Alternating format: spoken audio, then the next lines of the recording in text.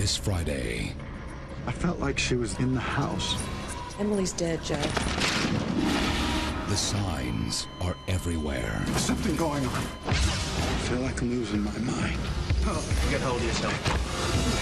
Are you prepared for what's on the other side?